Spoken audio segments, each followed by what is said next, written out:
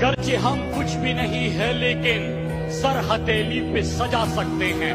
कोई भेजे तो किसी साहिल पर, कश्तियाँ हम भी जला सकते हैं।